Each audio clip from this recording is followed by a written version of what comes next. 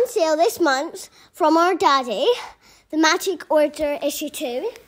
Nemesis Reloaded, Issue 2, art by superstar Jorge Jimenez, and Nightclub Issue 3 for the staggering price of $1.99. Starting in March, also my birthday. The Ambassadors, a six-pack series from uh, from Dad and the six biggest artists in comics: Frank Quitely, Karl Kerschl, Travis Charest, Olivier Coipel, Matteo Buffagni, and Matteo Scalera. The world's first superhero has been created, but he's not Metro- but she's not Metropolis or Gotham City. She's in Korea, and she wants to share powers with the best of people from every major country. This is Willy Wonka with superpowers. Don't miss it.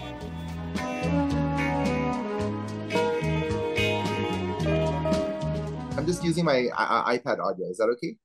It's perfect. Honestly, I mean, I've got a bad picture, bad sound, and no idea what I'm doing. You know, so you're you're streets ahead of me. Right now, it sounds great. Fantastic. That's great. No, so I haven't seen you for ages, actually. Isn't it? You know what's I- nice about doing these is I get to catch up with pals. You know, Mhm. for, for no real reason. You know, it's nice just to get a little chat. You know, because we all haven't Oh. seen each other for so long. You know. I know, I know. Thank you so much for for you know for having me in mind. I I miss you, and uh, thank you know, and I, I'm very happy that you're you know you're you're getting you know you're busy and you're doing all these stuff, and uh, It's crazy, And, uh, you know. It's it's a it- it's funny because um, you know, when we sold the company and everything, you know, I remember sort of thinking maybe I'll kick back now, you know, and and I find myself doing things like this for free, you know, like I just enjoy it, you know. You know what's been really Yeah. good as well is like because we all haven't been to conventions for ages.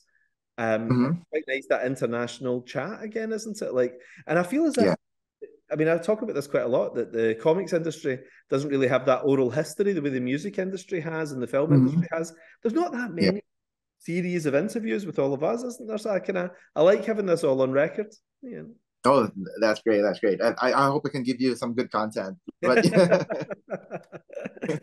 but you know, I've got a brutal hangover. It's uh, normally um, I do these in the evening, but because of the time difference with Manila, um, I Mhm. think what it must be about what seven p.m. for you right now, seven fifteen or something. ah, around seven seven fifteen. Yes, yes, Yes, Yes, because for me it's 8, 11 a.m. in the morning, and I I'm Oh. never I'm never up this early on a Sunday. So I was out last night, and I don't know I've got a really bad hangover. Only had a couple of bottles of wine, nothing major, you know. But like uh, it's hit me today, you know. So, so what what about you? What you been up to today? Oh, I'm just uh for today. I'm, it's a Sunday, so I'm just resting and just you know watching some some TV and stuff like that. Right. But usually I'm um I'm just doing covers for Marvel lately, so I haven't been doing interiors Right. since uh, uh since X-Men. So yeah, taking a bit slow, taking a bit slow because You're living COVID the and life. stuff. Living the life. Oh yeah. Th- Thanks to you, thanks to you. I've, I've recovered from my uh, cocaine addiction, and I'm just kidding. You should have gone from cocaine to heroin. Now, now you've got more Oh, money yeah. to heroin. You're doing, you know. So. but look, look at all the. Uh, I mean, that's a nice little collection of books behind you. Is that mostly your own, or is it a mix of everything? Or Oh no, those are just uh, a mix of references, my own comic books, and Yeah. stuff Marvel. Yeah. So you do what I did? Like I, I went through. I, I periodically go through my things and get rid of things I don't like. You know, so I try to like my DVD collection. I still have one. You Mhm. know, my DVD collection is just the great movies. You know, so Uh-huh. Indiana Jones four never happened. Matrix two never happened. You know, I Okay. out and just keep, I keep my graphic novels just the really great graphic novels as well. Or do, Yeah. do you just have a bit of everything behind you? Yeah. I, I will I will be doing that because I'll be moving to another place um in a cou- couple of months. So I'll be really, you know, um starting from scratch. I'm All gonna just I want the toys. You know, I'll just have a couple of toys in my studio, not that, not a collection. So I'll, I'll I'll start that as well. Yeah. I, I could easily be the 40 year old virgin. You know, it's like, you know, that because I do I do get quite excited, especially when I see retro toys, and I have to kind of restrain myself. You know, I try and keep it, Mhm. I try and make it look like an adult's office. You know, I try and Yeah, yeah. not put Yeah, too much up, but it's tempting, isn't it? You know, Yeah, it is. It is. It is. Me too. And um, yeah, I'm um, right now because of technology, I I only really need an iPad and nothing else. Yeah. You know, uh, so a studio is really just anywhere in the you know like a coffee shop would be a studio. Before you need all the stuff, you need all the references, all the books. Yeah. Right now we have Google. You can any reference can be Googled. It's Yeah. it's just a cell phone and an iPad, and you're you're set. So Are you are you entirely digital now? Then have you gone completely? I, I I am actually Yeah. I am a bit faster, and um, the quality of life I get is is really the, the improvement uh, in my quality of life. It's immense. Wow. So yeah. So, like, uh, in terms of doing a page, I mean, how much faster digitally are you than you were when you were pen and paper? At least fifty percent. Wow. Faster. It's really fast. Really? But yes, yes, yes. Because you lose out the app sales, of course, you know. But, of course, yeah. you know, but you probably make it up in the speed, I guess. You know, so you're doing more. It's work. more. Yes, but I'm also working less, so it's more like I have more free time. Right. I have more free. Just you know, do nothing. I'm just kidding. Enjoy my killer money, you know. I sometimes worry I've destroyed the comics industry because you know the best the best artists in comics are all so rich now, you know, that they don't they don't need to work. So, but it's really interesting because some guys. Yeah. Just took a week off and started work again next week, but some guys yeah. just thought, well, you know, I'm going to have a good quality of life, which is probably more sensible, you know like for me, I didn't stop working when when when when we got we got the sale, right? I worked, yeah. I did man, I I went through the divorce and I should have stopped by then, you know, just yeah. regroup and stuff. I didn't. I I um I didn't stop working until basically COVID. Right. And then I decided, you know what, uh, I might die anytime, you know.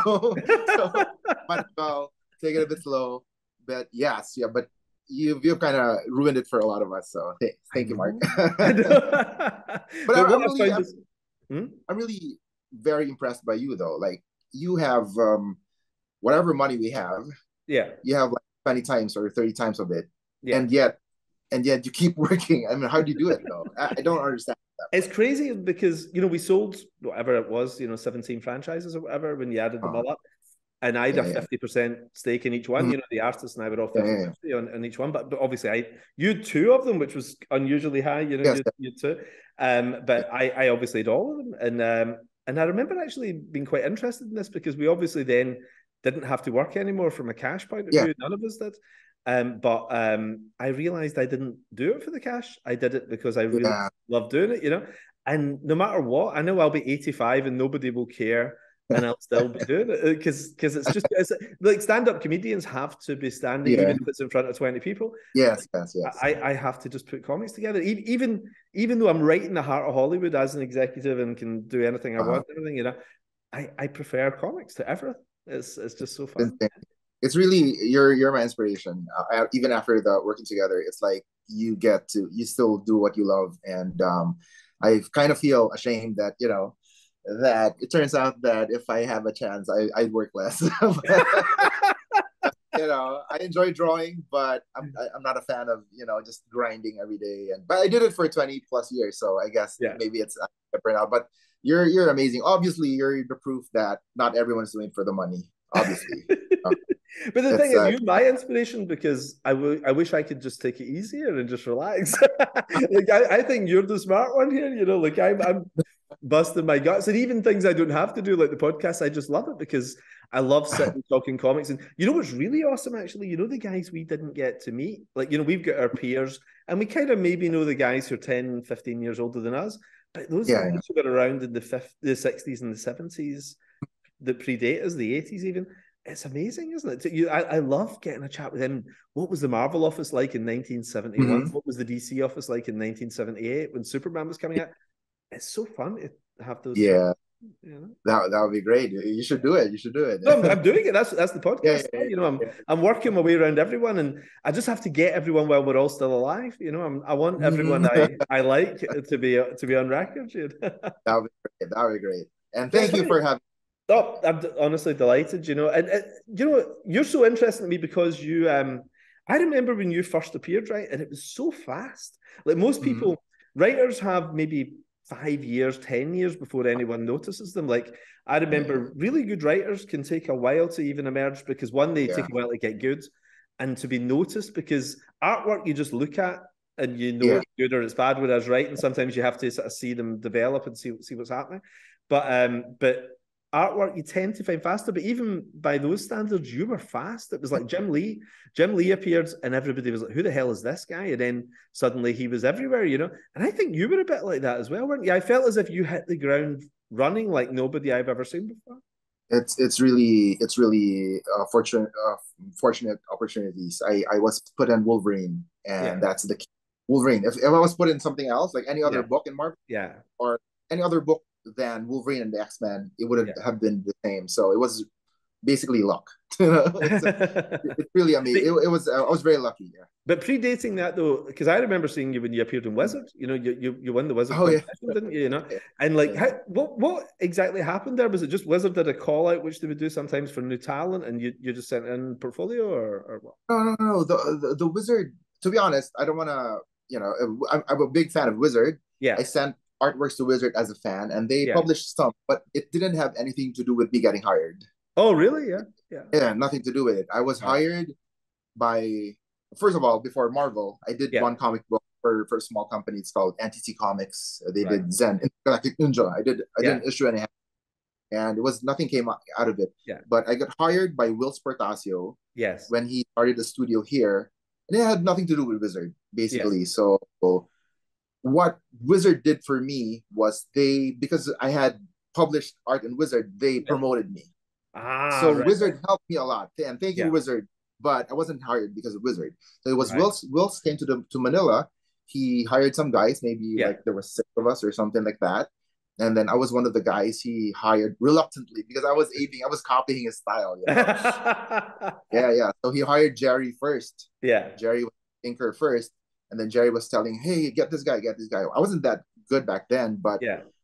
but and and I was copying him, and then he tra- for for like a year. I was under his studio. You know, Yeah. he tried to you know help me out with my style and stuff like that. I couldn't sh- do the shading. I couldn't do any you know the s- things well. He he Yeah. helped me develop it. For But- sure. Uh, So you're what age at this point then? Are you maybe 20 or something? Or Ah, not, uh, 18, 19, yes. you seen it? I mean, so you 18, right 19. out of school, out of school straight into working right away. Then, I I had to stop college. I I, I was taking up uh, ad- advertising. and I had to stop because uh, I had a great opportunity, and uh, you know I could always go back to to college anytime. So yeah, so I still get nightmares that I'm in school and I haven't finished school yet, and I have this you know I have this you know test until now. It's still my it's still it still bothers me. But I, I'm the same. I dropped out of university, and I, I'd say once every five years I have that same. It's a very famous nightmare, isn't it? You know, and the Oh, idea yeah. is you have an exam coming up, and you're still Oh, at yeah. university, and you still haven't, still haven't completed yeah. your, your study. I don't have pants for some reason. I don't have pants. but you never have pants. You never have Yeah, pants. Yeah, yeah. So But, yeah, it was um, um So, so, so, like, because I, I do associate you with Whilce, but I know Whilce's from, uh, you know, Filipino family, but he didn't live in the Philippines, did he? Had he moved to the States at that? no, he, he was born. I think he- he's an American. He was born Yeah. in. Um, I'm not sure if it's one of the bases or in Hawaii. I think he was born in. Hawaii. Right. So yeah, he had still had family in in the Philippines, Yeah. but he's mostly American. I He's think. so good though, isn't he? I mean, I, I've always Yeah. loved Whilce's stuff. He's, he's great, Oh, you know? Yes. So, so amazing. did you, were you sort of like, because everybody has somebody they admire who they kind of copy at the beginning Oh, of their career. And this goes all the way back to the Golden Age, isn't it? You know, guys, Yeah. guys look at guys who are better than them, whether it's Alex Raymond's, you know, back in the 30s or whatever, or Kurt Yeah. Swan in the 60s. You know, you learn from the feet of masters who you admire, don't you? You know, so you sit and copy their style. So was was he your guy? Was he your kind of Yes. Yeah. Yeah, absolutely. Will Will is my guy. Um, he went to when I was in high school. Yeah. He went to Manila. Also promoted. He was. They were still back in X Men back then, so he, Yeah. he brought in some X Men pages. yeah. Um, he showed it on TV because back then there was just really just three channel TV channels, and I saw him Yeah. there and promoting, and I was like jumping around and said, "Wow, there's a career out of drawing," you know, Yeah. just just uh, doing. I thought I was gonna do ad, uh, advertising, or at best I'd be doing animation, you know, the Yes, cartoons, Yeah. And then comic book. So I was really happy, and then you know I followed his work. Uh, after that, and um, just yeah, I was a big you know Whilce Portacio fan for sure. And and the fact that he had the Filipino connection and everything, you know, I mean that, Mhm. that makes, Oh, yeah. suddenly that path feels real then, doesn't it? You've seen someone Yes, yeah. like you do it, you know. and and who went here to Yeah. for talent. Well, Yeah. so yeah. Well, it's funny because Alan Alan Moore, I think, was probably that for all the British writers because Hmm. You know working in America just seemed unthinkable when you live in the UK. But when I was Oh. thirteen, Alan Moore blew up, you know, and suddenly became the Swamp Thing writer and everything. and you, you notice there was just a generation of guys behind him, you know, like and then, Yes. and then a generation behind that. So one person that's like one fish that crawls out onto the land, you know, and, Yeah, and yeah. suddenly somebody who's like you doing X Men that that must have suddenly felt real then to you. you know? Yes, yes, absolutely, yeah, absolutely. Um, there were because of Whilce though. Uh, there was a bunch of guys doing comic books around my time as well, and Yeah. there was a second batch and so, stuff like that. There's also a studio.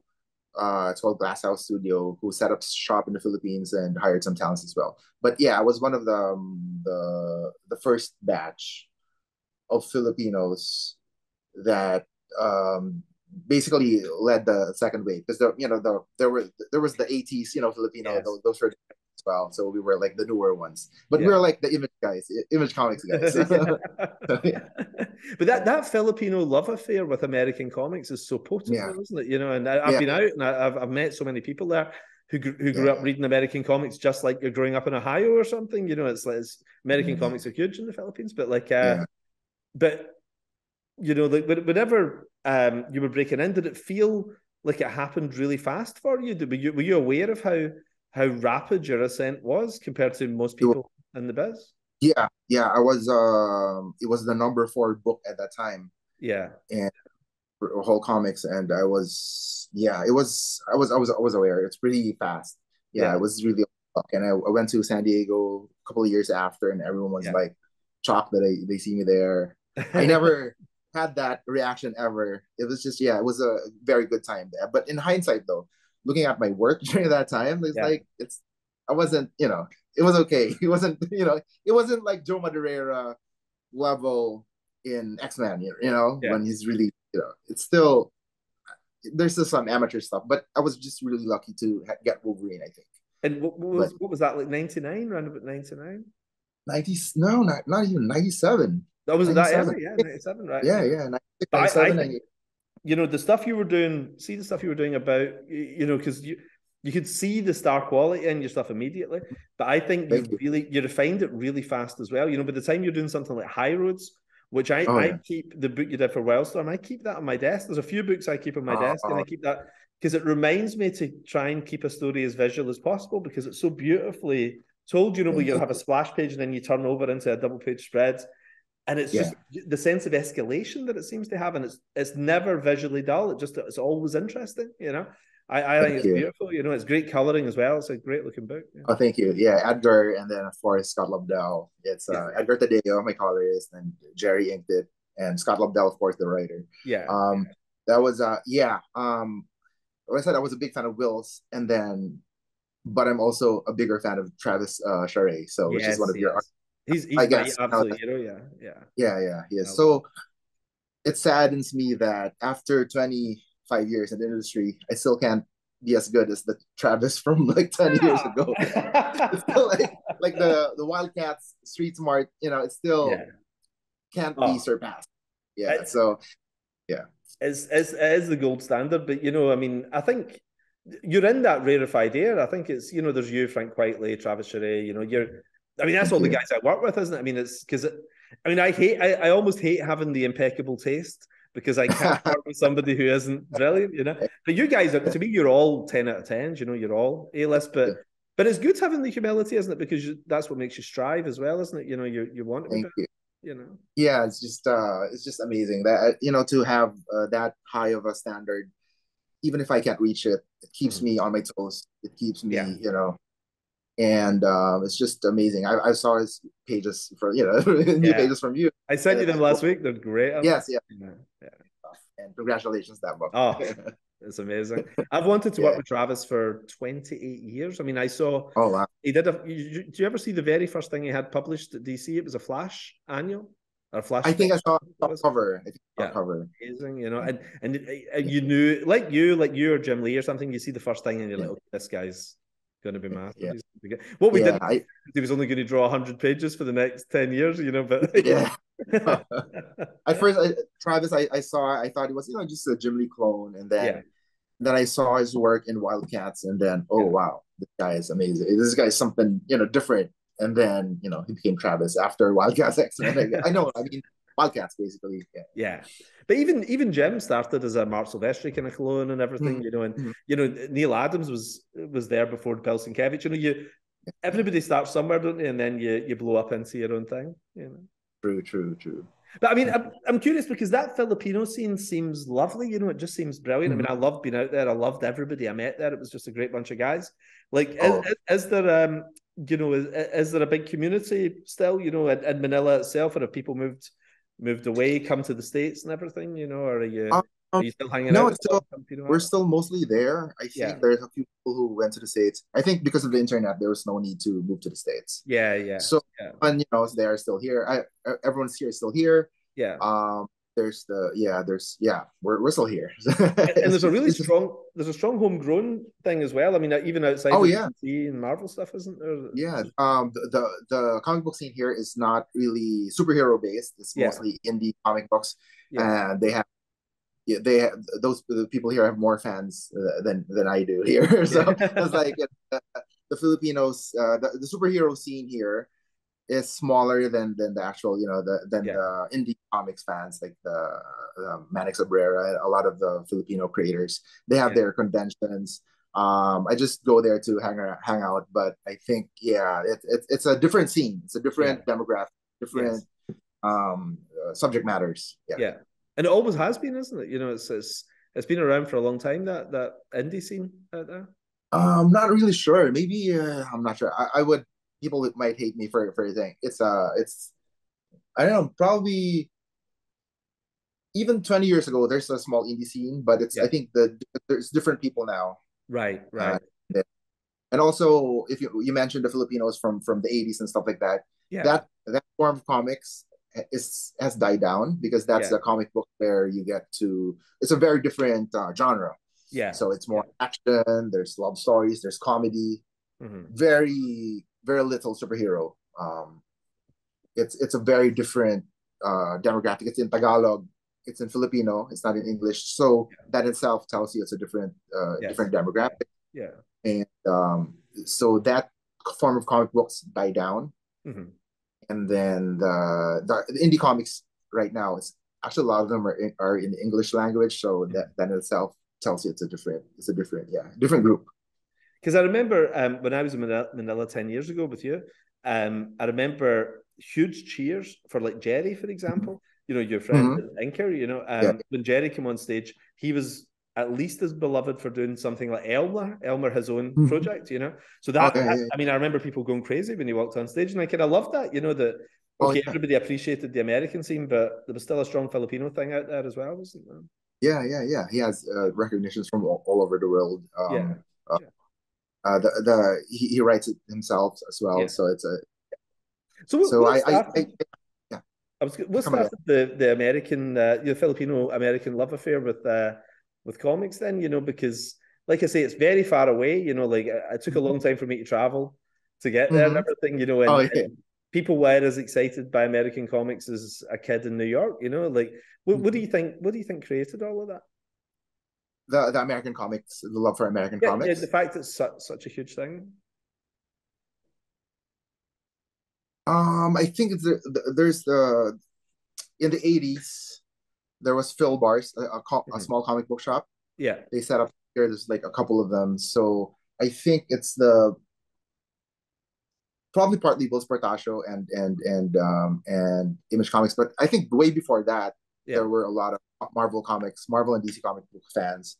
And I'm not sure who started it, but I think it just started organically. Um, uh, I think one of the reasons is is Filbar's, the comic book shop, who Mhm. you know who, who brought in comics uh through maybe because there was an American presence here as well. Mhm. So Yeah. American basis, I, that could be the reason, and it's Right. also the reason why we had a lot of comics in the 80s and the 70s because of the world after World War II, there was some Yeah. American base, you know, American presence here and stuff like that. So the, the American, yeah, American expats maybe. Yeah.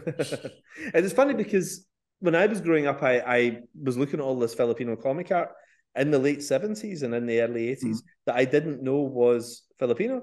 You know, I assumed, Mhm. you know, so many Americans have different names from all over the world. So I just Oh, assumed yeah. this was, I assumed Alex Nino, Tony De Zuniga, Nestor Yeah. Redondo, you know, Alfredo Alcala. I assumed all of those guys lived in the Bronx, you know, and, and they, they just worked for Marvel and DC.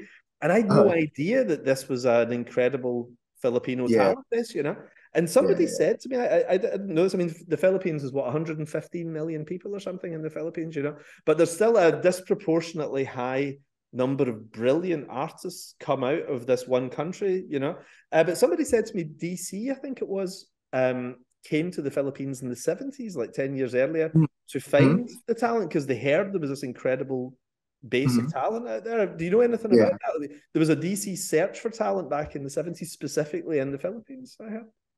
I'm I'm not very privy to all the details, but Yeah. I think there was uh, there's even some issue about this. Um, one of the artists who a prominent artist who basically served as an agent for for the rest of the talents here, Right. and but uh, you know as agents go, there would be some you know uh, um, yeah, uh, issues with with payments and stuff. So I Yeah. think that was an issue. So there was a middleman right. uh, because um, I do think that you know prior to the internet, the communication is not as well developed, you know, and a lot of them Yeah. aren't fluent in English or probably didn't have the the social skills to you know to or to to fight for their wages and stuff like that. So I Right, think right. there was a middle middleman artist, and uh, there was some resentment and stuff like that. And Yeah. I, that, that's what I heard. DC Comics itself, maybe that they hired, they did that through one of the artists who served as a as an agent, as a scout. Right. Yeah. Because I, I think the, the, the rumor I'd heard, uh, I don't know if it's true, but it was one of those old stories, was that the Filipino artists were unaware, but the American publishers were getting a bit wary of American freelancers uh, who were Mhm. bigger page rates. So they basically kind of went to the Philippines and took Mhm. the greatest artists from the Philippines and, and worked with them. Uh, Is that true? Have you have you heard anything about that? You know that uh, that the artists were sometimes they were being targeted really, you know, because they they weren't being unionized the way the American ones were, you know. I haven't heard of that, but I, Yeah. I, I could see that happening, um, especially during that time. Um, good thing with the internet, everyone is like, uh, everyone is aware Yes, Yeah, you know instantly now. Yeah, Yeah.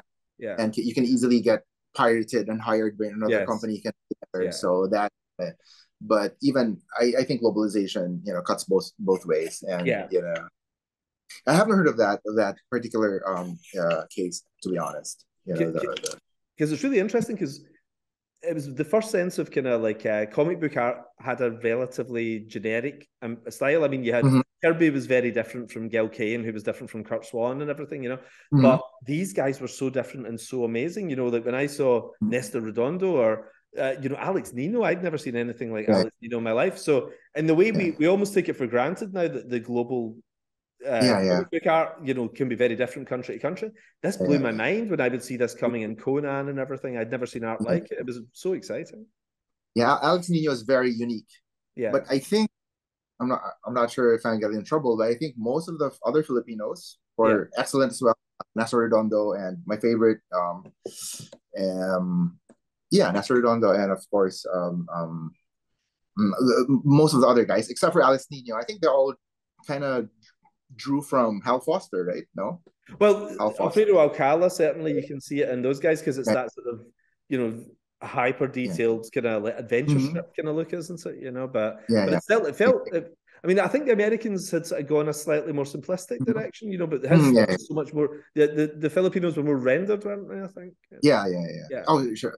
Especially Alcala, right? The- the Yeah, he's uh, amazing. Yeah, yeah, yeah, absolutely. amazing. And Tony I mean, I, I used to love his Mm. stuff. I assumed he's Yeah. Italian because that sounded such an Italian name to me. You know? Yeah. Oh, by the way, Alex, Alex Nino just released at eight years old. He just released uh like a, a book a couple of years ago or last year. Really? So oh, yeah, wow. it's amazing. It's uh I I I have it. It's it's by my friend. so um shoot uh, the title escapes me right now, but it's an amazing Alex Nino book. I will I will definitely uh I'll look it up. Oh, I've- I've got to get a copy. Is is it new artwork? Is it all new all new stuff? New artwork, yeah, new Yeah. artwork, and um, it's amazing. It's amazing that he can do these things at at his age. So it's like his eyes are failing, so he's Yeah. like drawing the large, large Yeah. format paper. Yeah. amazing stuff. Because it's funny, I was talking to a friend the other day about this, you know, and you know, sometimes as artists get older, they become less popular. You know, new people come in Yeah. and replace them and so on. But there's some guys who just escape this, and I think like Joe Kubert Mhm. was still amazing at 80. You know, Gil Kane in his 70s was still phenomenal. You know, Howard Yeah, Chaykin is still fantastic. You know, there's no reason in Mhm. eighth decade you can't still be brilliant. And Yeah. and is, is it something you ever think about? You know, I mean, you're still young now and everything, but do you always, do you try and think, okay, I must keep refining my craft and make it as good as a as it can always be? Richard Corbin was as brilliant the Mm. month before he died as when he Yeah. when he was 25. You know, Yeah, it's a yeah for sure. Um, it's to be honest, I'm a bit. I get a bit insecure with the new guys. You know, the the Yeah. newer. It's like I used to be uh, the young one, but now, but now the veteran. But yeah, for sure, I, I you know I, I always want to improve my art. Although I do know that I could really do more to improve myself. Like for example, I could be spending time to draw hands more, like practice. You know, like that's the way you get better. Uh, Yeah. Deliberate practice. Right? Yes, And yet I don't do it. I only draw hands when I need to draw hands, right? So- so I know I could still get better if I wanted to. Yeah, It's just yeah. that there's just no, you know, like I don't memorize the skeleton, right? I don't memorize the back muscles because you seldom draw the back muscles. So until Yeah, now, yeah. I, you know, I draw, you know, the back muscle of a, a strong man. I still need some reference. Yeah. So, so yeah, um, um, there's some there's some effort, but not as much as I I should be doing. Yeah. yeah. But it's nice. I mean, But- one thing I love about new people coming through is it does keep you on your toes, doesn't it? Because if Oh, yeah. somebody comes through with a skill you haven't seen before, you're like, oh, I have to, I have to keep trying. You know? Yeah, for sure, for sure. Especially with uh, digital art, um, there's Yeah. so much. you. Um, and although I think my, my stuff improved, I also I'm also working less. So Yeah. so uh, yeah, um, especially Instagram. Just browse Instagram, you'll see a lot of great artworks and Yeah. artists, and uh, it's it's it's it's a tougher competition Mhm. because everyone is in Instagram, the internet, but you also get better because you get to see what other people are doing. So Yeah. yeah. Yeah, I think especially Instagram, I see a lot less sequential art. I see a lot of like you Mhm. know game design type stuff and everything, or fantasy Mhm, art, and everything, yeah. but they tend to be like an illo, don't they? You know, as Yeah. opposed to sequential art. And I def I think I see less sequential art around than I used to. You know, high end, high end stuff. You know, and I, do you ever wonder sometimes? You know, because comic book sales fluctuate. And if we Mhm. come from a period like the Image Comics period, for example, when things were selling six, seven figures, then Mhm. If one percent of those guys try and be a comic book artist, you have a huge number of people coming in who are who are very good, you know. Um, but if the sales are, you know, 40,000, 50,000 or something, that's even that 1% of that is still a tiny number of people who are going to come in and try and be, be a comic book artist. You're inspiring a smaller base, you know? Yeah, yeah, Um, so, I- so I wonder if, you know, people have gone less into comic art, more into game design and so on. But I think it's a shame because being a comics artist is a, it's an awesome job and also a very well paid job if you if you work on the right things. I, I almost it feels crass sometimes to talk about it, but I, but I do think it's worth saying what an amazing and lucrative career it can be compared to other types of art. You know, I have to say, I'm, I'm, I think I'm the lucky ones. I mm-hmm. think it's like the NBA or like basketball in general. yeah, The top players are paid a lot, but I think Yeah. majority aren't.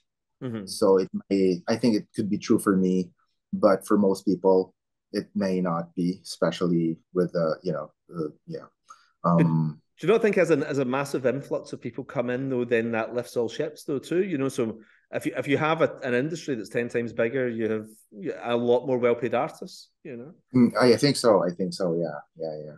I think uh, the, the problem is that comic books used to dominate the whole attention span of of a teenager or of a reader or the person basically. Mhm. But right now, it's really hard to you know with TikTok Mm. and uh, video games and um, they're all attention uh, grabbers and Yeah. it, comic books are competing for with that whether we like it or not. So so. Do you know, I, yeah. you're not inspired by manga though. Whenever you, whenever you see manga though, you think. Like I, I walk in. I was in the bookshop yesterday with my Mm-hmm. children, and they flooded to the manga section, and the Oh. manga section is ten times the size of the American comic book section. You know, um, so it's not that people aren't buying comics. You know, like they're they're Mhm. still picking up paper and reading pictures. Yeah. You know, uh, but it's just sure. it's just different stuff. You know, so so for me, it's just American comics have to rethink the way they work and, Mhm. and try and, and do something that appeals to this market. You know, like uh, Yeah. You know, because because I remember back in the late nineties when I was breaking in, DC said, "Oh, the reason our sales have taken a slump, which they had at that point, you know, post post Yeah, and everything." Um, they said is because kids are playing Activision games now. You know, they're playing Pitfall and all that. You know, and I was like, well, you know, they are, but if the comics were good, they would pick up those too. You know, like I, I think the work can just always be better, can't it? Right across the board.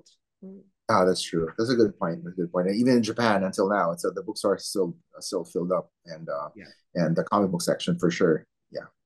But I saw a stat the other day. I was looking at some 2021 book scan figures, and it said Mhm. 78% of graphic novel sales um, was manga, and that's not even including Dogman, YA, and everything. You know, Oh wow. 78%, and it's gone up. Obviously, gone up since then. So, so the numbers have the numbers have improved, but it's been Japanese import stuff. Um, so Wow. I- for me, I find that super inspiring, though. You know, the idea that people still want to read. You know. Yeah, yeah, yeah. That is, that is. But uh, to go back to Manila and everything, you know, I mean, I, I can see why you you haven't moved, you know, because I mean, I, I loved it. I, I I think of all the years I've done this job, that was the most fun time I've ever had. Oh wow. and said, "Oh, Wow. the people, the people were just fantastic." You know, like they treated you so well. The National Bookstore um did the the signing uh, we did out there, you know. And but do you remember, like, I mean, I felt like a visiting, you know, president from uh, some banana republic kind of thing. You know, like the, the, the I didn't even have to go through security. The, the the uh-huh. guys sent at the airport. They sent a limo to the plane, and I came off the plane and Oh. walked into a limo, and they had flags all over town with my face on it and everything. I thought I was having a stroke or something. You know, it was complete. I didn't know. I didn't know that though. They they they, they didn't you send you a helicopter, you know? That's but Yeah, I've we- never we had, normally you show up and you get a cab, you know, and you're yeah. but it was amazing because the sides of buses, they had my face on the sides of buses and stuff. I mean, oh wow. they went all out. It was crazy, but but they were Yeah. so kind and uh, and and really, it was a great week, wasn't it? I really enjoyed it. Yeah, of course. Yeah, yeah. People still have fond memories of that that event, and we would love to get anytime. Oh, of I course, not-. The guy from National Bookstore is amazing. he's Yeah. great, isn't he? Yeah, really. And the people yeah. were all And, um, worked there. Oh yeah, of course. It's it's one of the places that you should you should you know visit again, and uh, it's yeah, it's it's safe here generally, and you know, but yeah, um, that that was a lot of fun, Mark. Thank you so much for doing that. That was And crazy. I always remember I've kept in touch with Jaunty Cruz and Jiggy Cruz as well. Oh, cool. Yeah, Right. so so I'll drop them little emails now and then. But they were great. They were really good fun. They became my sort of bodyguards. You know, we were just Ah. hanging out drinking for a for a for a week.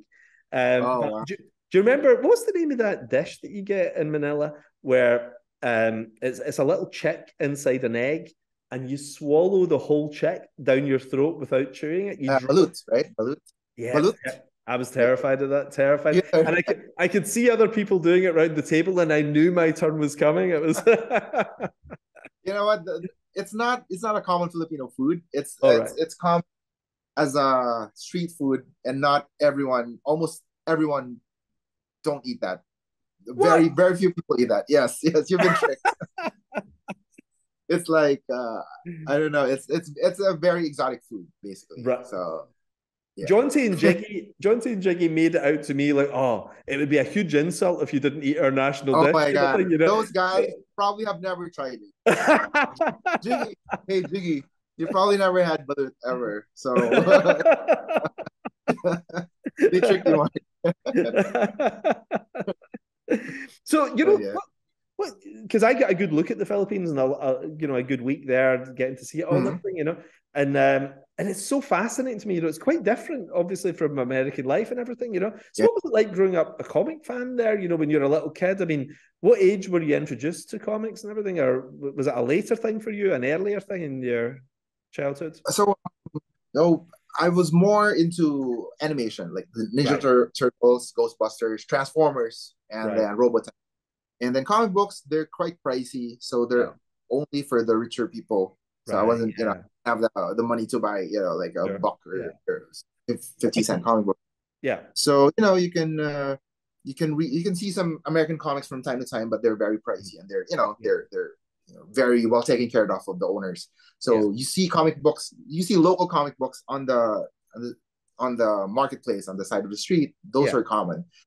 So for me it's more animation stuff like that. And then at 11 uh, age 11 my mom got me like a how to draw comics the marvel way by stan lee Right, yeah. and john yeah. and then I started drawing comic books. I started drawing Captain America and uh, and stuff like that. And then, but uh, I wasn't really collecting until high school. Mm-hmm.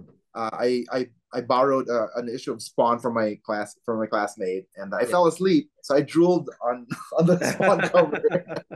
I ruined it. So I had to buy one, and it started my whole collection. So, so I I I I came into comics during the Image Comics boom, and I got all the variant covers and the the young bloods and the you know the yeah, wildcats yeah. number two and stuff like that so yeah i that's my my collection it's mostly image comics so so like jim jim lee Marc Silvestri rob liefeld were, were yes. those your your big influences then really and, and Whilce yeah. of course as well yeah yes I, I would say without image comics i probably wouldn't be you know, without without those image guys i probably wouldn't be into comics that much to wow. be honest yeah wow that's amazing yeah.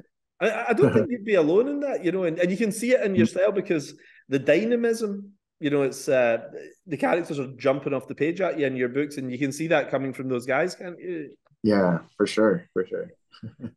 and like, um, was there anybody else, you know, anything that predated that that interested you, or was it all very 1990, 1991 when you're about 16 years old, maybe then? Well, well, John Buscema for sure because of the because of the book, right? Right. And then did you ever read the actual comics? Did you ever see John Buscema Marvel comics? No, no, no, yeah. Because they, they Although I also, while before. Yeah, I didn't. I didn't have access to them. Right. Uh, yeah. To the yeah. comics, I only had the book, and then Andrew Loomis. My sister gave me an Andrew Loomis book. Yeah. Which was actually photocopied. right now, you can download it, but before, so I was also was it was harder though. It's more real, realistic, right? So it's harder for yeah. me as a kid to copy them, and uh, they're, they're all nudes as well. So it's very distracting. So, so but I think it was really a lot of animation, a lot of Ninja Turtles, and a lot yeah. of uh, Ghostbusters and Transformers. Yeah. So that's why I think I'm pretty okay with tech as well because of those. Right. Robot. Yeah. yeah. And it's funny, uh, like whenever um, I was a kid, I noticed that the artists that were more popular actually was the ones that were easier to copy like that you know so the image guys are easier than you know like frank quitely there's not many frank quitely imitators yeah. because yeah, yeah. style is so difficult to draw yes you know anything that's hyper detailed like that. But the image guys were quite easy to copy weren't they i guess it was the big yeah. splashy image and everything you know so i can see why that would appeal when you're a teenager especially you know it's, it's a great starting point isn't it you know? yeah. do you, feel, do you still feel it with those guys do they feel like the source of your comic book love, or, or has your taste moved on in terms of artists since then? I think it's still the same. I think it's still yeah. the image. Yeah. yeah. It's, it's it's yeah. I still get the the goosebumps when I see those comic books, this old covers, you know. Yeah. Jim Lee, Farley, and, uh, yeah. Yes. So yeah, yeah, Image Comics for sure. And uh, happy anniversary, by the way, to Image. yes, yes. It's funny, like um, my uh, my nephews and nieces, and my, now my own mm-hmm. kids. I've done this thing for years where maybe once a year or something, I'll lay a whole bunch of comics out and I put some old comics there from the 80s. I put some image comics from the noughties. I put some current mm-hmm. comics, mm-hmm. some foreign comics, you know, just mix it all up. And what's really fascinating, uh, as I say to them, like, what's your, what, what looks cool here? They all go for 1990s image comics, everyone. And even mm-hmm. now, no matter what period I do this in, they go straight for Rob's Youngbloods. They go for Jim Lee, oh. everything. It's really interesting. There's something about this that clicks. For sure, for sure. Like Rob Liefeld, there's a reason why he's uh, one of the biggest stars ever, right? Yes. So for yeah. sure. It's so funny, isn't it? Because Rob, Rob's such a nice guy. Like, I mean, he's mm-hmm. so pleasant. Everybody likes Rob, and he's so talented. Like, he's he's got huh. such energy to his work, and he always gets a trashing online. And I, I do think it's um, you know because he got so big, there's a certain amount of jealousy yeah. probably from people, and then it becomes fashionable because influences are jealous by him and everything of him, you know. So, mm-hmm. but it's such a shame. I think those guys are so undervalued, really, from an artist point mm-hmm. of view. You know.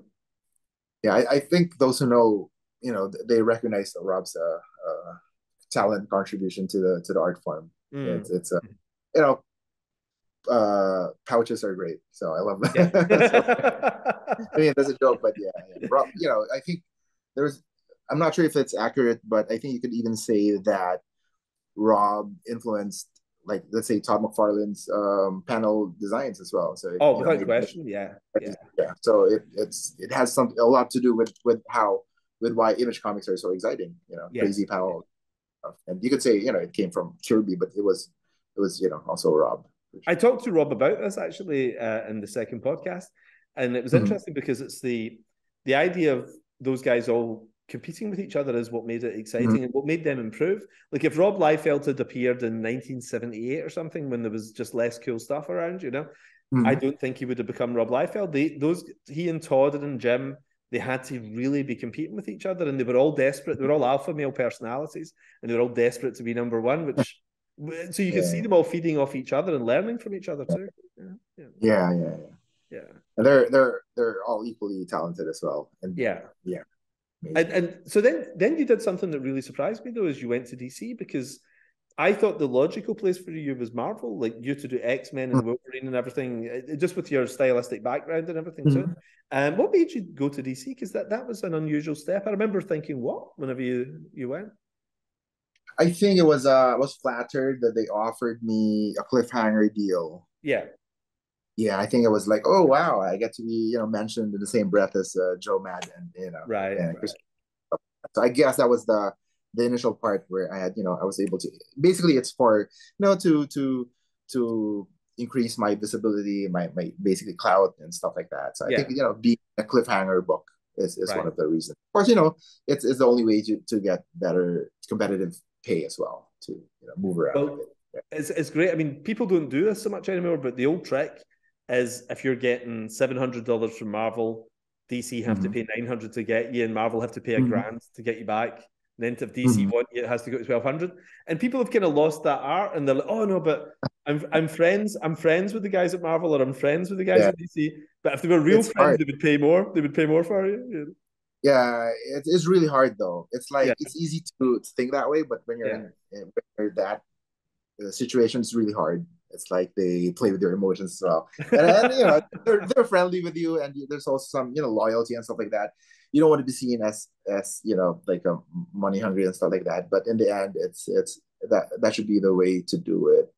Just do your best every time, and then you know you also have to look out for yourself and stuff. But yeah, it did take me a while okay, first of all, Marvel paid me really well during Yeah. the very from the very start. But you know, I got to I wasn't able to, you know, just keep incre- keep getting more and stuff like that. It took me a while. It took me a while Yeah. because they were Marvel's always been nice to me and DC as well. So Yeah, yeah. Alright. So so you went over and you did Superman as well, which was a surprise, but a nice surprise. You know, I mean, that book was great. Birthright with Mark Waid is an awesome. Yes. I mean, that's there's not many graphic novels that people hand out with Superman, even Mhm. though it's my favorite character. You know, but there's not Mhm. many um things that, like Dark Knight Returns that you say here, read this Superman book. But Birthright is kind of Birthright and Kingdom Come are my two Yeah. go tos. Really, I love Mark, Mark Oh, Waid's got a oh, great really? take on Superman. Yeah, it's good. wow, you just mentioned uh, my uh, Birthright uh, with with Kingdom Come. That, that that's a huge, uh, you know, that's huge uh, compliment for sure. Thank you so much for thinking so. Um, Birthright was introduced, was pitched to me as a like, let's say, it's almost like an Elseworlds, Mm, almost like an Ultimate Superman, Mhm. almost. Yes. Yeah. yeah. So that was uh, it was also also with Mark Waid, so I was really excited to do it. And uh, during that time, I was kind of distracted. So so like the the style is very simple, right? Simplistic. Yeah. I was because I was like recording songs, you know, at home, and I was busy with my band and stuff like that. So it was it was a bit simpler than my usual, but at the same time, I don't think I could have done it any other way. For me, Yeah. Superman will something lighter, something more on the animation spectrum. Mhm. For me, just my opinion, Yeah. and then Batman would be the opposite, would be grittier with more lines and stuff like that, Yes. more shape, Yeah. Yeah. more open. Yeah. So I What guess it surprised you didn't do more Batman because Batman um, really lends itself well to your style. You know, like Superman Mhm. suits because it's an unrealistic character. It suits realistic art. You know, it's, it suits like kind of like Neal Adams works well, or the Norman Rockwell kind of style that Curt Mhm. Swan employed and everything. Whereas Batman Yeah. suits that more cartoony, sketchy, more exaggerated Mhm. style that you and the Image guys Mhm. do. I think works really Mhm. well for Batman. Have you never been tempted to do a big run on Batman? Oh yeah, I've al- that that was has always been my one of my dream characters to draw. Yeah. Uh, I think that was um, I think Marvel just uh just uh made sure that I stayed. So they, they, they- Mar- Marvel took care of me really well. I think yeah, uh, yeah I mm, maybe to put it bluntly, maybe DC didn't want me as badly as Marvel did. Yeah. I, Yeah, I think they should. I mean, the Batman books, you know, guys Mm-hmm. who are really good then really blow up when they go and do Batman, don't they? You know, and yeah, I, I think you you on Batman for 12, 12 issues would be something else. I'd love to see that. Yeah, that's that's still a that's still a dream, of course, for sure. Yeah. It's my you know probably a bucket list, definitely. You know, to have my my uh uh long Halloween. You know? Yes, you know? And, and if you, in five years' time, you and I should do it. We should do Batman together. You know that'd be for sure. Yeah. That, that would be great. That would be great. I'm I'm down. I'm down. but then when you did go back to Marvel, I mean, it was then it was exciting because you know it's that I love that jumping around between companies. You'd mm. Avengers with Bendis, Secret yeah. Invasion, and everything, and you you I think you probably I would say you were Marvel's main artist. You know, like I think that period you were doing all their biggest books, weren't you? Like you and you and Bendis together felt like a really strong team. Yeah, yeah, that yeah. mostly because of Bendis though. I think I think yeah, it was Bendis because there, there, was a there was a David Finch. There was David Finch, right? Finch too, yeah, yeah, Finch too. David Finch is bigger than than I was, so so I think it's yeah. I was I, I could say you can say that, but at the same time, it's I think that was the era where writers were still you know were the so it was Bendis you know taking the lead on that one, but I was lucky to be there lucky to be here for sure. It takes two, and I, I do think seventy percent of what makes a comic work is the art, and that's a terrible thing for a writer to say. I think the art's so important. And if you, you know, a, a, good writer can tell a good story, but the, the books you keep are the great art, isn't it? That's the ones you hang on to, the really great artists. I keep all those issues. I, I love them. Yeah. Thanks, thanks. True, true. But you know, my favorite thing of yours, I'd say my favorite thing you've done, and it's my favorite Marvel comic of that decade, is Ultimate Hulk Wolverine. Mm, wow. I, I, love that book. I, I think it's oh, thank so you. great. It just it really works. And Damon Lindelof writing it as well. Uh, I mean, I, I, can remember word for word what happens in that book. You know that opening mm-hmm. where you have the, the double page spread when you turn over and yeah. Hulk ripping Wolverine in half. And yeah, yeah, yeah. Normally, writers take a few years to find their feet in comic books. And yeah. Damon had never written comics before, and he just came in yeah. and nailed it right away. You know, like, did you help with that, or, or was that him? Did he? Did no, he that was right away. Yeah that was all that was all Damon. That was really? Damon. Yeah. yeah. yeah. I was actually um quite concerned because I was I was uh, from the you know old school Marvel stuff. So I yeah I'm really gonna rip him too. So I was like, you know, I, I was hesitant. I actually drew on uh of the first drawing I did was like he was still mostly, you know, it was still kind of intact. It was being ripped, ripped apart. Yeah. It's like, is this gonna pass the whatever, you know, the censors? so that, that was Damon, I had to say. And he's yeah, he's for someone who's never written comics before, he's just excellent. And um, the, the the script is so is so clear and so easy yeah. to do. He's like a natural. And yeah. And did you guys communicate? Did you talk back and forth, or, or was it a straightforward? It was, it was mostly it was mostly uh, email. Yes, right. I was mo- yeah email and, and the script. No, we, we didn't. Uh, I I I seldom talk to to my writers. You're probably you're the person I, I speak to the most. Yeah. But yeah, no, it's mostly the script and um, even yeah, yeah, he's he's a super nice guy, one of the nicest as well. Yes, yeah. he's great, so talented, and it was it was an exciting time because Lost was the biggest show in television at the time. Oh yeah, it was pretty cool. Somebody coming like I was talking to Geoff Johns about this the other day. It's usually the other way. People from comic books get into television and animation and everything. So it was quite interesting seeing it work the other way because these guys had been comic fans their whole life. And for mm-hmm. him, the ultimate honor was not doing Lost, it was to work with you and to do a Marvel book, you know. Yeah, that's that, that's insane. I was a huge fan of Lost. So yeah. when he when we he you know we paused for like two two years in between issue yeah. number two and three or something. Like I didn't. I didn't I was watching Lost. I was like whatever. Just... and in between I did I did yeah I did uh, Avengers as well. So what did co- what caused that big delay? Was it just Damon was busy with work? Was he just busy? Yeah. Yeah. Yeah. Because I've never yeah, asked you that. I've always meant to ask you, and I didn't know how long it was going to be. So every month I would check in on the shop and find out when when's the book coming out. Was it really two years? Is that how long that was? Yeah, I think that was yeah, that was about two oh years. Oh my god! Did, my gosh, I, if I'm not mistaken, I did New Avengers and Secret Invasion, and then it was longer, probably longer than two years. Yeah, but yeah, it was, it was busy, but you know, I, I I didn't care. It was like you know, I, I would finish it when he's ready. But it's funny, I can't remember who it was. I, I, think it might have been Joe Quesada had this great line whenever the Ultimates was running late, as it often mm-hmm. was with us, you know. Um, Joe Quesada said, Nobody remembers how on time a great book was, they just remember how good mm-hmm. it was. Mm-hmm. And I think there's something yeah. in that, isn't there? So that's true. I, I kind of forgot about the delays on that book because I just have it as a nice trade on my shelf.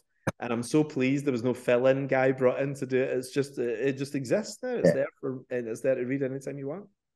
Yeah, yeah, that's great. Something I didn't even know until somebody told me was you worked on Serenity. Like, uh, when, how did all that happen? What, what, what? I did. I did. Okay, so Jeph Loeb introduced me to to I think he showed my work to um to um um um uh, the creator of Serenity. Sorry. Uh, Joss Whedon. Joss Whedon, of course. and then Joss Whedon liked it and introduced and and then set up a guy. Uh, uh, he's one of his designers, Barry Chusid. Right. So Barry Chusid was one of the designers of Serenity. So I was basically like a freelance uh, concept artist. Um, yeah. So it was very informal, no contracts and right. stuff like that. Mm, yeah. yeah. I think I think I, does, I think I had. I think I think I had an NDA or something. Right. I forget. I, did I have a contract? I think I did. Sorry, sorry. I'm confused. maybe for me because because I did a few stuff for him. Maybe I did other more informal stuff, but I think Serenity was was different. But yeah, I did a couple more movies for him, but it wasn't very. It was a, it wasn't it, it was uh, informal. Anyway, Serenity, I did receive the the you know the script with my name yeah. on it and stuff like that. Uh, yeah, so I did some designs for sure. I, he used some. He used some of my designs. I think. Right, right, and and like were you doing the comic stuff daytime the serenity stuff in the evenings or you know because you seem to yeah i mean you always seem to be doing a monthly book it didn't feel like you took a break to go away and do some some movie stuff yeah something like that and um i think it was also very almost light work i think it was it was the pay was pretty good it wasn't really like for example when they design a ship yeah they're not asking you to do like a front side back thing mm-hmm. just you know drawing of a ship and then right. send it to them yeah. it wasn't really as hard. But I did do some work for video games where I had to supply, you know, front side backs and stuff like that. And yeah. uh, it, it did interfere a little bit, but mostly no.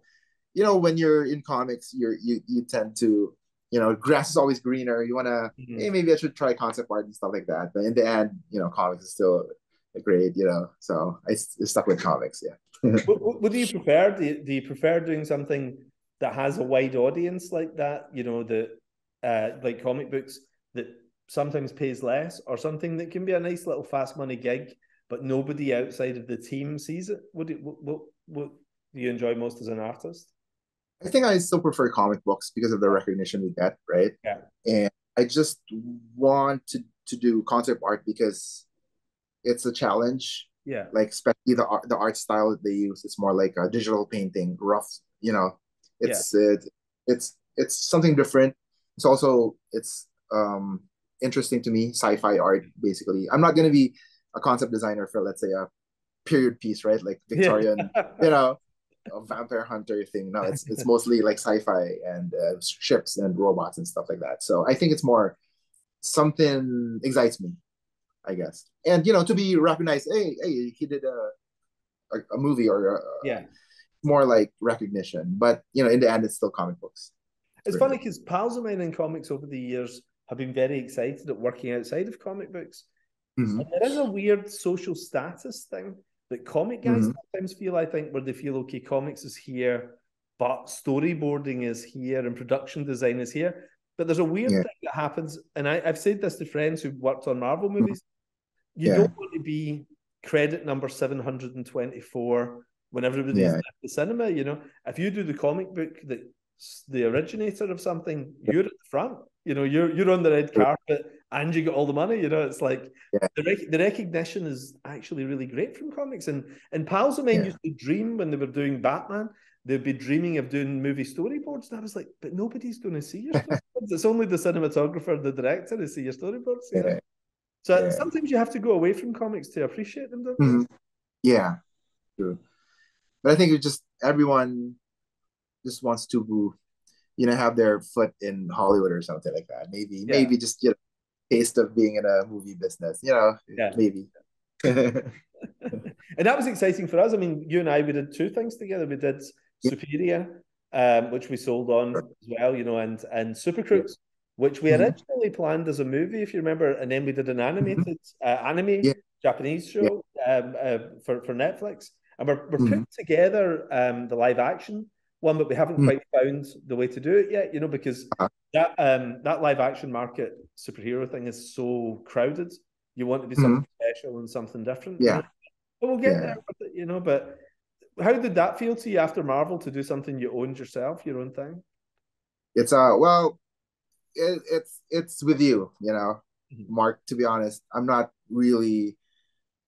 Um, I wasn't too confident in doing it with with with let's say on my own or other or other writers. It's, it was with you, so it was an easy decision to be honest. So you you had a lot to do with it for sure, and um, um, there was some some pressure, of course. I didn't, you know, the sales, if I'm not mistaken, wasn't as hot as as your other titles, and I feel oh I let you down and stuff like that. But no, you know, all. I think I think we did about I think we did about if I remember right, we did about sixty of Nemesis and about forty five of these. I think so. Mhm. Slightly Yeah, yeah. less. I mean, not much, you know, but um, but I I think it, a supervillain uh book like Nemesis, you know, which is super Mhm. violent and everything, you know, that's yeah, yeah, that's a kind of sexier property than a of heist thing, isn't it? You know, so like, uh, so it was always going to do a little better.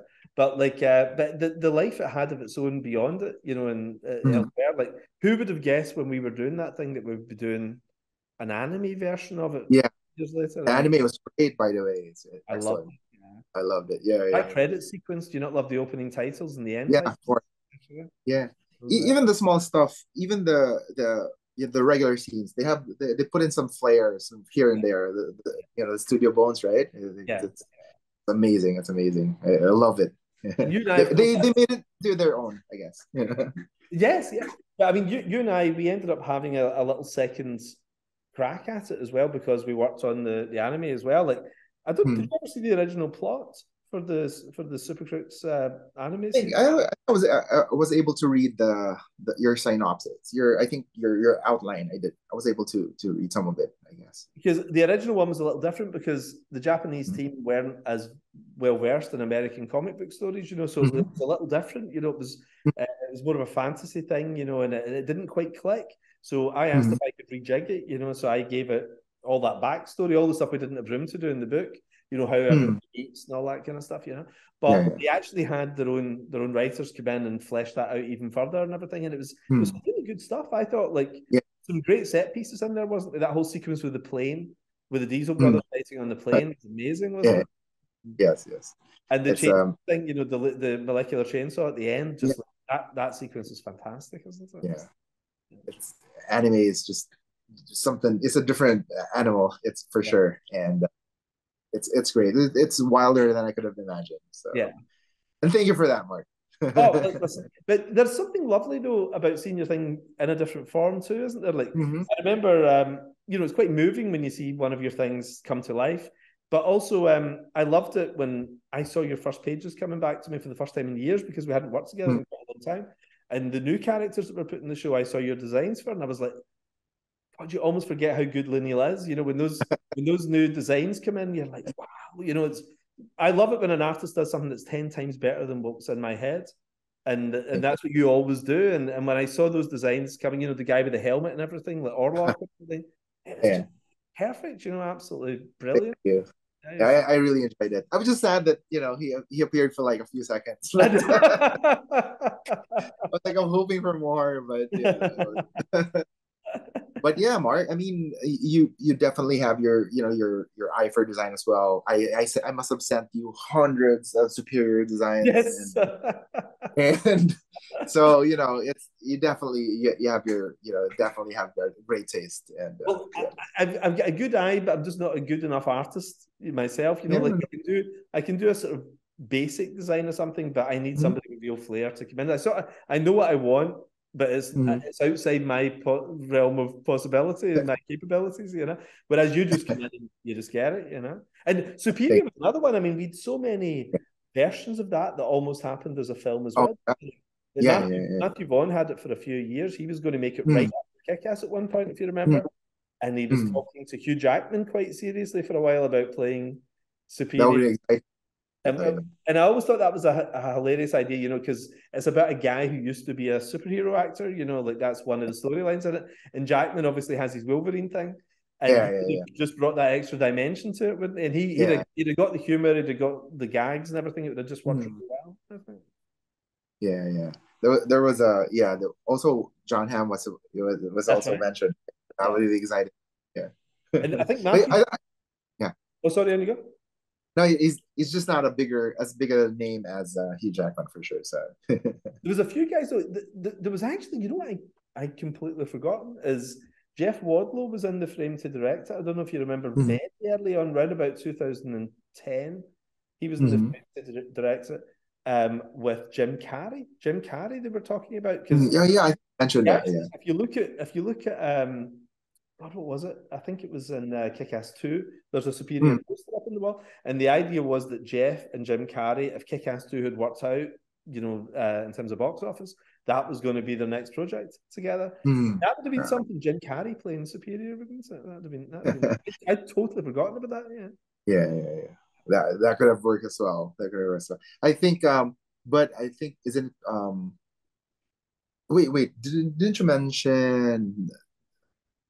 Maybe I maybe I'm I I I I I forgotten. Maybe Tom Cruise as well or something. I think Matthew tried, he tried to get somebody like that. I can't I don't think it was Tom Cruise, but there was some, Uh-huh. somebody something big. uh, Someone that was that's big. Yeah, It was like a crazy big name. you Yeah. know.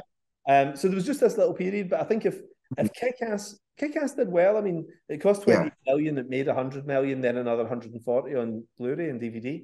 Yeah. Uh, but if it had blown up and done crazy numbers, Matthew Yes, was yeah. planning to do Superior next. That was Yeah. his thing. And um, and he was talking to lots of big names at that point about coming in and doing it. But because it didn't, he went off and did X Men instead. Remember, he went and did X Men First Class. Hmm. But there was Yeah, just yeah, yeah. it's that's what I love about this though. You know, the adaptation thing is always fun because there's infinite possibilities. You know, there's Yeah. six weeks where this guy's definitely going to be doing this thing, and then it shifts and it becomes something else, isn't it? But you and I Mm-hmm. would be emailing back and forth, and I'd always be keeping you up to speed on what the latest thing was that was happening. Yeah, yeah. But now, now Netflix owns it. It's Netflix's property. They can do what they like. Mm. You know, it's still Mm. at Fox for another eighteen months, and then it Oh yeah. comes back. Then after eighteen months, it comes Okay. back to Netflix. We'll see. You know. Yeah, yeah. I hope Netflix uh, does something with it as well. I think you'd have to change it now though because it's it, Shazam obviously was Yeah, yeah. at the time, and Shazam is very very similar. I mean, we used a lot of stuff from them, but equally a lot of our things Yeah. ended up in there. You know, there's uh, the Mhm. big of it all. You know, um, so I Yeah, think you have to rethink the character and, and tell the story a different way, so it's not like Shazam. Mhm. Think you know, but uh, You'll you'll figure it out. yeah, there'll be something, I'm sure. You know. So. but um, you- I mean, the next thing I guess to talk about is the company sale, isn't it? You know, like, the, what's your memory of that period? You know, when you got that first email from me and Lucy, sort of saying, "Listen, from from the sale. yeah, like there's a bunch of there's a bunch of Yeah. studios very interested in buying." Yeah, yeah, yeah. company. I was um well there was some a lot of false starts. So I was like, I'm still trying to trying to calm myself. Uh, Okay, I don't you know, get my heart broken. Just kidding. but yeah, it's definitely definitely uh uh exciting. And of course, you know, it's it's it's almost like too good to be true. It's like, oh, is this happening? And Yeah. this, you know, this money and stuff like, oh my gosh. And uh, unfortunately, that was a time I was going through a lot of personal stuff as well. So it was like mixed emotions and stuff like that. It's like, yeah, it's you know confusing and it's also exciting at the same time. But uh, for sure, it was. It definitely is probably the single best you know thing to happen to me. I mean, Yeah. for for sure, I have to say, and it's it's. um Thank you for that. Thank you and uh, Lucy for that for sure. Oh, that's all. You know, I mean, thank you. I mean, we wouldn't have had the books without all the artists, you know, so that because that's everybody deserved the 50-50 because it was a collaboration, wasn't it? We we, we all worked together for, for. Thank you, thank you. You're you're you're you're very generous and uh, kind to to to artists for sure. Oh, listen, I mean, you guys do all the work, you know, like it's easy, it's easy to say a hundred guys start fighting, but you guys have to go the, the hundred guys. But it was yeah, that it was very interesting looking at all the different personalities in the Millarworld Uh-huh. Gang because some people thought it was never going to happen. Like three Hmm. three studios came forward to buy the the company, and they would fly us Uh-huh. out to Los Angeles and have meetings and Oh, talk wow. about offer and everything, you know. Um, but um, you know, then you've got the negotiation once you you, you pick which yeah. you're going to go with. Um, but it was interesting talking to the artists because I'd say a third of the guys were like, "This will never happen." You know, this just. Oh, yeah. Third were a bit unsure, and the other yeah. third like, "Yeah, this is exciting," you know. But even yeah. I remember Johnny Romita when we sold the Kick-Ass rights as a movie. Mm. Johnny didn't believe the movie was going to happen, even when it had been cast and everything, you know. And and I, I, remember being on the set with Johnny in London uh, in Elstree Studios and saying, "Do you believe it now? Do you believe you were here?" We're yeah. He says, "Well, let's see if it gets a release and everything," you know. Yeah. So, so, I think that some some artists, I think, maybe are naturally pessimistic and they worry something yeah. isn't going to work out. You know? Yeah, yeah. Maybe in my case, we've had uh, a few um, um, false starts. I guess. I guess yes. right. Yeah especially with Superior. And then also, you know, at the same time, um, I was, you know, going through stuff.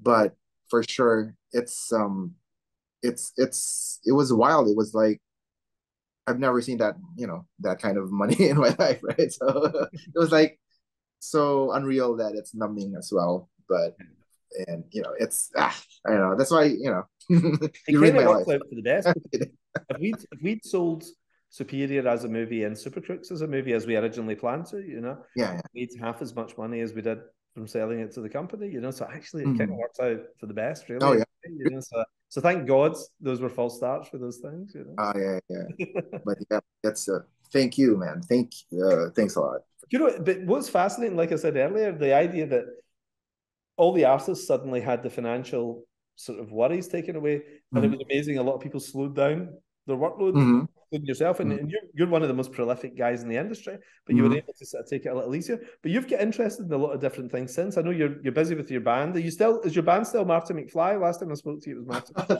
Thanks.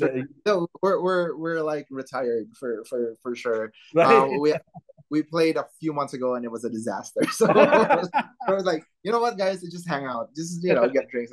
So yeah, so um, as I've said earlier, I didn't stop immediately after the yeah. sale. I didn't stop. I, I worked continuously until like three years, four years after. Oh, really? And then, yeah, yeah. And I realized, you know, I should uh, take it slow. But um, yeah, I'm still right now. I'm just doing covers and um, and uh, take basically my workload is like thirty percent than my usual. Yeah, or, or yeah. How are you filling your day? Like, what are you doing? Oh gosh. the, the the best uh, part is like being able to do nothing when you're it's just you know like I, I take care of my health and I, I do cycling I exercise yeah uh, watch uh, uh, uh, TV and YouTube and stuff like that but yeah I do keep myself busy a little bit but yeah it's I, I did imagine yeah. You're still going into the studio every day though? You still I'm um there will be weeks that I don't draw, but there will be but usually I do let's say five five covers, five to ten covers, five to eight covers a month. So right. it's still you know still yeah, an okay time working. Yeah, yeah, yeah. It's still busy. It's keep, uh, pay the bills and stuff like that. I mean, there's some guys who are working full time and two pages a week is all they're doing. You know, like, you know I mean, so, yeah. And, and you, how long's a cover taking you? Maybe a day? Are you, are you spending a day or more than a day on a cover? if it's just like a couple of people, I could yeah. do that in less than a day. Yeah. Like from start to finish. But of course, there's approval, there's the sketch, and then yes. the approval for a yeah. day and stuff like that. But if it's just like you know, my editor is right beside me, I could do a cover in like a like a day if solo. But if it's like eight people, it yeah. will take definitely take a couple of days at least. Right. Right. Yeah. Days. But it's all digital now, so I'm not selling any artworks. So it's I I think I produce better covers. Yeah um, and I get to rest more. So it's really worth it.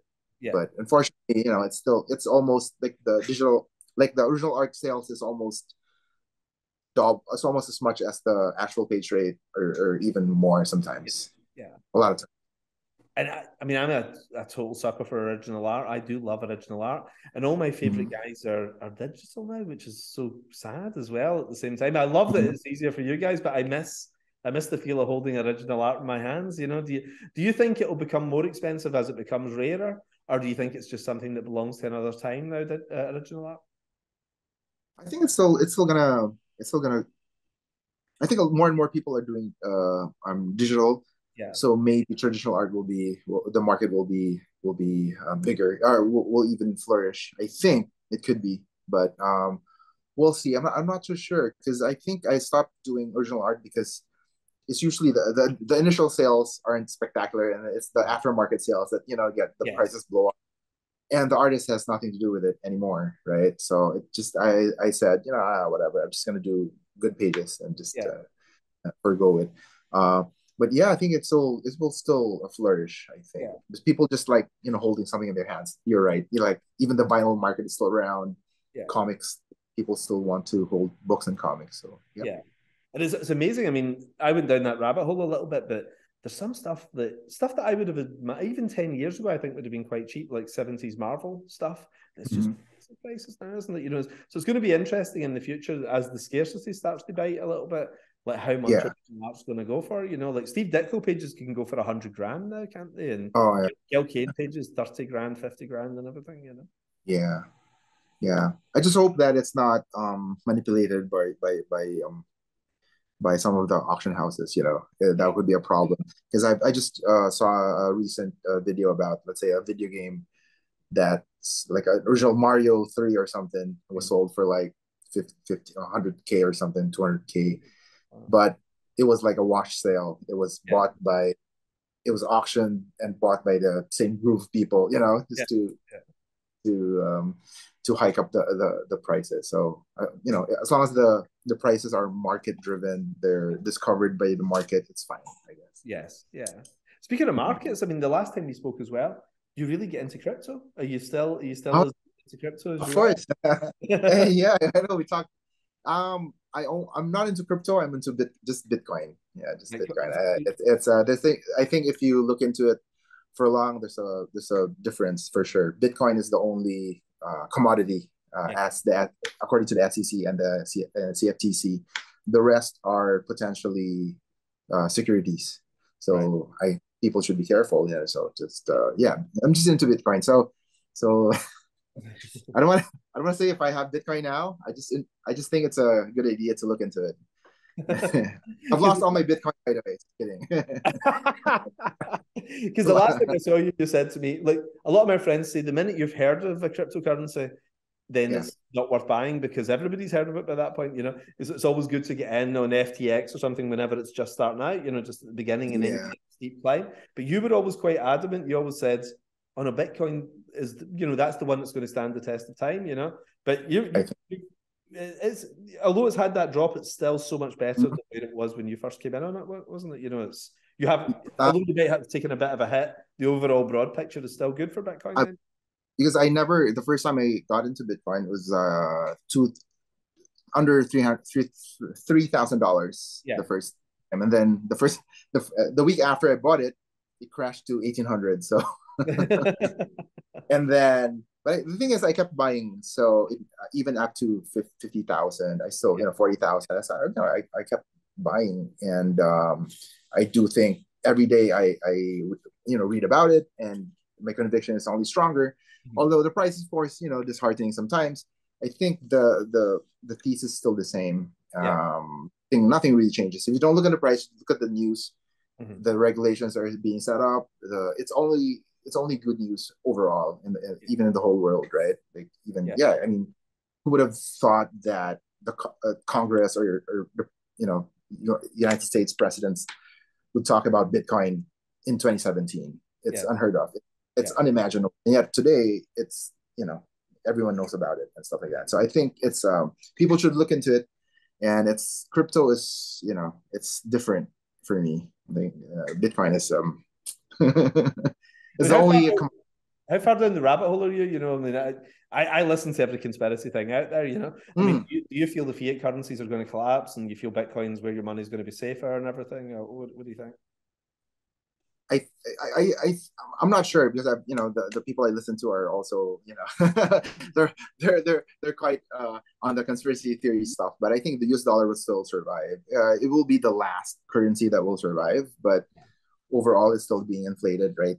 The the the the circulating amount uh circulating supply of the US dollar has been created yeah one third of it has just been created three years ago since COVID right yeah uh Um, the the U.S. national debt is now uh, 31 trillion. It was only 23 trillion three years ago, four years ago. So those are stuff that you we, we have to look out for. I don't know. I don't know the future, and but I think Bitcoin would be a definitely a good insurance policy if you have yeah. you know if you have money you know yeah at least five percent right yes yeah so but you know for me I I went YOLO you know I just you know whatever because I, I, I, you know you must listen to all the things I do I'm sure as well yeah. you know where they talk about global debt. You know, global debt uh-huh. is is in unfathomable numbers now to the point where the entire global market is essentially a banana republic. You know, because mm-hmm. it's money that can never possibly be paid back. It just has to pop. Yeah.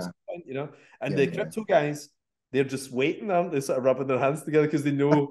this is unsustainable, you know. But at the same time, there's bricks and mortar and everything, which never quite goes away either. I mean, it can take a hit, but it always comes back as well, you know. But but you're still, even despite the last six months, whatever, you're still still. Oh yeah, Bitcoin. Yeah. Absolutely, absolutely. My my conviction has been, you know, as long as it doesn't go to like one thousand dollars or something like that. You know? no, I, it honestly though, as long as the Bitcoin protocol is not hacked, yeah, it's as long as it's still working, there's no reason to you know to get out of it. Yeah. Um, the price is just the reflection of people's um, you know uh, ignorance or or or confidence in in Bitcoin. Yeah. Nothing to do with with the with the fundamentals of Bitcoin. So you know, yeah, you know the greatest thing to invest in is mm-hmm. Marvel twenty four years ago. Marvel mm-hmm. 24 years ago, right? Like one of my friends who I won't uh-huh. name because for his for the sake of his privacy, he didn't have a lot of dough and he got very sick. He got very sick and he was moving back in with his parents. He had a brain tumor, you know and mm-hmm. like uh, and he, he was moving back in with his mum and dad so he could be looked mm-hmm. after and um, he had some equity in his house he had a flat that he sold and he had some some cash and he shoved mm-hmm. it into marvel stock and marvel was oh. filing for chapter 11 around about that time so the stock, yeah. the stock was down at like under a dollar or something like 80 cents or something and then when it got sold to disney um, it, it, it was I think fifty six dollars or something in two thousand and nine when it got sold to Disney. Yeah cash he cashed out then. So his money That's... his money went up by fifty or sixty times what he'd invested. That's insane, huh? And he's and he's wow. never had to work since. He was only in his twenties at the time, you know. Yeah, he's never had to work. And it's like I, I, I, have never bought a share in my life, you know. Like I've, I've never. Uh-huh. so Even like, until now, though, do you have a, do you have your equity account? Uh, well, I've, I've, I've, got the thing now. I mean, personally, you know, I'm awful with that kind of stuff. But like, uh-huh. you know, my wife takes care of all this kind of thing and speaks to mm-hmm. advisors and everything. Nope. But my eyes glaze over, you know. Like I, I really admire the fact that you will sit and look at screens all day, won't you? And you're really excited by the jumping numbers. Uh, Whereas I uh, find I start thinking about Spider Man or something like that when I'm looking. and if a guy's, oh, that, talking to me about it, I'm like switching off, you know. So, but you you you, you do enjoy it, though, don't you? I mean, you, you actually do get quite a buzz out of it too, don't you? Yeah. Oh yeah, it's the best entertainment of my life. Even if, if I if I lost all my, my Bitcoin, like if I lost, if, if it goes to zero, yeah, I would have you know said that you know that was the most entertaining uh four, five years of but yeah, it was. I think it's um, in my opinion, if even if it fails, it's the most um intelligent. It's it's all everything I read, all my education led me to this. Yeah, it's the right decision at this time for me. And if it fails it fails. I you know i you know i'm i still have my job. I still have you know i can work for another 15 years 20 years. Yeah, and it, i need to do this bet. This yeah. um this not even a bet anymore because you know countries are talking about it you know? when, when it started out no one you know no one knows about it uh, yeah. very few people know know about it now they have congressional hearings you know about crypto and stuff like that so yeah yeah, um, I think I'm on the right track. So we've hit some bumps, but yeah, you know. and what what about? I mean, the dollar hit bumps at the beginning too, though. I mean, any new thing oh, yeah. bumps, doesn't it? You know. Mm-hmm. But what about like next for you? You know, like I mean, do you? You're still young, you know. I mean, like, do you still have unrealized ambition in comics, like things you really want to do uh, in terms of characters you've never drawn before, or anything? Or, or do you feel you have you drawn what you want to draw? You know, what do you feel? probably just uh probably Batman. I mean, yeah. as we talked about earlier, but um, I think I think I just needed some break but I could still draw some. I'm like, I don't get sick of drawing Wolverine, to be honest. Yeah, I could I could do another Wolverine run. Right, the last time I did Wolverine was as a series was like the Hulk versus Wolverine, which was Yeah. twenty years ago, Yes. right? It's Yeah. like almost.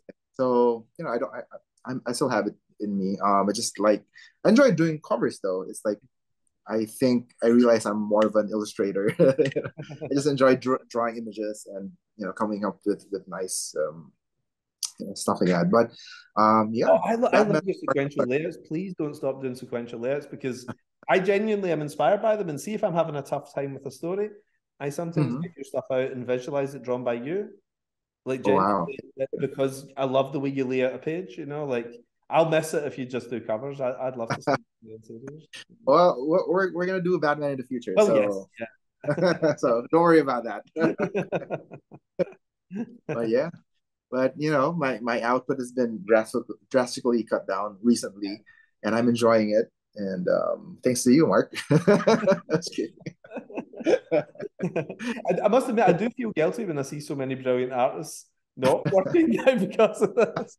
But like, uh, you know what? Artists have been screwed over for so long in our industry, haven't they? I mean, guys who've created billion-dollar franchises have been paid 5 Mhm. Things, you know. So like, uh, so I'm I'm pleased that artists are getting paid. You know, I think this is what we've always dreamed of, isn't it? It's great. Mhm.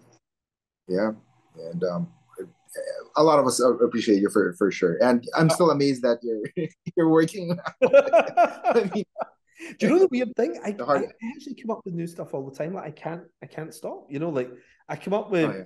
Like twenty more projects than I would have come up with ten years ago. Like I just keep thinking of stuff, and I and I get excited about it, and want to do it. You know, and like I've got a Superman project and a Batman project I want to do that I wouldn't be able to for about eighteen months with my uh, commitments at the moment. But like, um, I can't help it. You know, you must be the same though. You Mhm. must scribble things down that you want to do and everything. You know, you must. I do. Yeah, I do have some ideas, but after a while, like most, it's mostly sci-fi stuff. But after a while, I um I I don't think I have the confidence to do it alone. I would probably need to work with with with uh, other uh, writers and stuff like that. But I do, yeah, yeah, for sure. But yeah, um, it's I I do not have the your brain though, like you know, coming up with, with these everything, you know. Well, I, I don't have your fingers. I don't have your fingers, you know. So luckily, the two of us, we, we can cobble something together. you know. yeah, for sure. Listen, yeah, you, you have eighteen months with with uh, you have eighteen months with Netflix, right? So- I've actually got a little more. You know, I've got I've got because what I'll do is I'll I'll stay on. You know, I'll stay on and do more stuff. But what I want to do is be able to do some stuff outside of it. Like whenever we sold the company, part of my my setup was they wanted sequels out of me and to create new stuff. Like Magic Order, I created after Netflix. You know, uh, Yeah, you know, um, so I created it in house and then did it as a comic later. But they wanted me to do like the sequels to Nemesis and all that kind of stuff Mhm. as part of the thing. Um, but what I'll do is I'll I'll stay on, but I want to carve out some stuff when I stay on to do mm-hmm. stuff outside of the company. Like I just really want to do Superman. Like I want to do a mm-hmm. six issue Superman thing, and I've got it all worked out. I was in Dubai last year, and I was swimming, and the whole plot came to me when I was swimming in this. Oh. pool. And I came out the pool and I said to everybody, "Don't talk to me," you know. And I sat for an hour and wrote everything down. And uh, you, you know, so I can't let this stuff go to waste because I really am excited about it, you know. So I'll say to the Netflix guys, like, do you mind if I take three months and just disappear and go and do, do the Superman project? But I, you know, maybe in a year and a half or something, I'll be able to take that time and go and do it. You know? Wow. That, that's exciting Yeah. for sure. so who, who do you have uh who, um who do you have in mind for for the art on your Superman? Weirdly, I haven't actually thought like you guys like the, I've got wish lists of people I want to work with in the future. Mhm. I'm definitely going to reduce my comic output. You know, I'll be doing a bit more producing. Uh, there's a Mhm. very busy year of comics that I want to do a year and a half. But then beyond Mhm. that, I just want to work. I mean, I only ever work with the great guys, but I would take it down to like you, Olivier Coipel, Frank Quitely. Travis Charest. Um, I, I absolutely love Matteo Scalera. You know Matteo Scalera? Yeah, yeah, of course. That guy, you know, he's amazing. Uh, you know, just a few guys that are, are just my my pals that I really like working Mhm. with and everything. And Mhm. if I can lure you from the covers to doing some interiors, amazing at some point, you know. And just, be like, just like maybe some new create your own thing as well, a couple of new things Sure. outside of it That'd that be we all own, you know. So that'd be great. that were great. Thank you for having me in mind. In mind. And oh, are you kidding? It's a total pleasure. And thank, thanks for taking the time today. I know it's it's Sunday afternoon your time, Sunday morning my time. You know, so like, mm-hmm. uh, thanks. I know Sunday's a bit of a day off for everyone. I don't. No every, problem. Every day's a day off for you right now, Menja. You know. So.